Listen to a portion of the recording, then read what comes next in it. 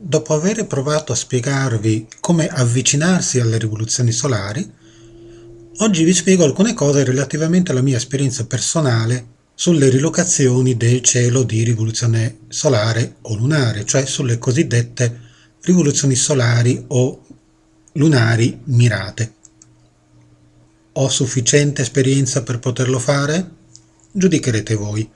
Io non amo farmi bello di cifre mirabolanti e di statistiche esatte e ponderose, ma posso dirvi in tutta sincerità e onestà che una delle mie prime rivoluzioni solari, calcolata a mano e già allora tenendo conto delle località in cui mi trovavo, risale al 1982.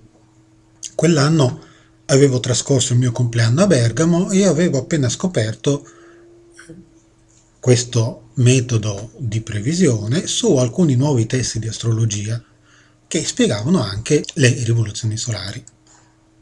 Da allora, tutti gli anni, ho calcolato la mia rivoluzione solare e quella delle persone a me più vicine, più la rivoluzione solare di quelle persone che me la chiedevano come consulto astrologico, amichevole o professionale. Per non parlare poi delle rivoluzioni solari e lunari di colleghi, amici, parenti, compagni di studio, di cui sono venuto a conoscenza in tutti questi anni. Loro mi avevano dato i loro dati di nascita, magari per farsi fare il tema natale, e io, sapendo dove si trovavano nel momento del ritorno solare, magari perché ci studiavo insieme o ci lavoravo insieme, potevo calcolarmi la loro rivoluzione solare o lunare e seguire l'andamento dei giorni successivi o dei mesi successivi a seconda del caso. Dal 1999 poi ho iniziato a rilocare, cioè a mirare, le rivoluzioni solari mie e di mia moglie, ma non tutti gli anni. In ogni caso ho sempre considerato e disegnato il grafico tenendo presente la località dove uno si trova in quel momento. Come ho spiegato in più riprese in altri video sul mio blog e su Facebook, diversi autori suggeriscono questa modalità di calcolo, cioè che il cielo di ritorno solare non vada domificato per il luogo di nascita o quello di residenza abituale, ma proprio per il luogo in cui il soggetto si trova in quel preciso momento, indipendentemente dal motivo per cui ci si trova. Dunque a questo punto potete calcolare voi stessi quanti grafici posso avere disegnato e studiato in questi 30 anni rotti da quando ho iniziato eh, le mie prime esperienze con le mie prime rivoluzioni solari e lunari. Ebbene, che siano tanti o che siano pochi, questi anni mi hanno portato a formulare alcune conclusioni su questo metodo. Vediamoli insieme. Primo, il cielo di ritorno solare va studiato sempre con un occhio attento al tema natale del soggetto e ai transiti che si formano nei 12 mesi di durata di quella rivoluzione solare. È sempre il caso di ribadirlo perché non tutti sembrano saperlo. Questo significa che io personalmente non me la sento di consigliare una rilocazione del cielo di rivoluzione senza prendere in considerazione attentamente questi altri due fattori altrettanto importanti, il tema natale e i transiti. Secondo, per quello che può essere la mia modesta esperienza pratica, ho l'impressione che la rivoluzione solare non sia sempre e necessariamente più importante rispetto ai transiti. Certamente ci sono alcuni transiti particolarmente critici, sia in positivo che in negativo, che possono entrare in sinergia col cielo di rivoluzione e dobbiamo sapere quali sono e studiarli con particolare attenzione.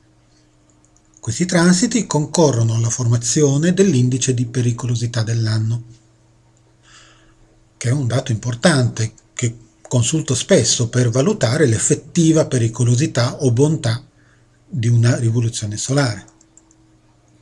Terzo punto, quando si parla di pericolosità o bontà di una rivoluzione solare o lunare o anche di un transito, in realtà credo che si tratti di una pericolosità o bontà potenziale, Questo anche perché credo fortemente nella necessità di non alimentare timori nel consultante, ma nemmeno nutrire in lui eccessive aspettative, pur ritenendo altrettanto doveroso avvertirlo, se me lo chiede, di possibili criticità presenti nel tema natale, nei transiti, nei cieli di rivoluzione, eccetera, ma sempre senza avere né trasmettere certezze assolute, che secondo me in questo campo semplicemente non esistono. Quarto, la questione del karma, ovvero, senza necessariamente tirare in ballo il karma, quella del nostro destino. Un'obiezione che mi viene rivolta abbastanza spesso è questa. Rilocando il cielo di rivoluzione solare, non è che per caso andiamo contro a quello che è il nostro tema natale? Se noi dobbiamo fare un percorso evolutivo, addomesticare la rivoluzione solare tramite la rilocazione non ci fa crescere, in quanto naturalmente si cresce nelle difficoltà. È un po' come sprecare l'occasione di una vita già predesignata. Naturalmente se ci si deve spostare per altri motivi, questo non conta. Ecco, questa è l'obiezione che è legittima. La mia risposta è che in realtà la portata dei cambiamenti che può produrre la rilocazione del cielo di rivoluzione solare vada un po' ridimensionata. I transiti, per esempio, sono spesso più importanti delle rivoluzioni solari e lunari, per quella che è la mia personale e modesta esperienza. Spesso anche le direzioni possono essere molto significative e sono tutte cose che non si possono rilocare, cioè non si possono modificare o evitare se non provando a utilizzare le possibilità offerte dall'esorcizzazione dei simboli. Da questo punto di vista andare o restare rimane una decisione che non definirei poi così tanto fatidica. In realtà noi prendiamo numerose decisioni nella nostra vita, come per esempio quella di fare un viaggio, di parlare con una certa persona, di iniziare o abbandonare una certa attività o anche quella di uscire di casa o di restare in casa in un giorno qualsiasi ma non sappiamo mai molto delle reali conseguenze dei nostri atti. Quella che può sembrare una decisione da poco potrebbe scatenare una serie di eventi decisivi nella nostra vita. Al contrario, una nostra decisione dalla quale ci aspettiamo grandi cose potrebbe rivelarsi del tutto sbagliata o ininfluente. Questi sono i misteri della vita sui quali anche un buon astrologo difficilmente può avere una visione migliore o più lungimirante di altri. Per quel che riguarda poi la crescita attraverso il dolore avrei qualcosa da dire.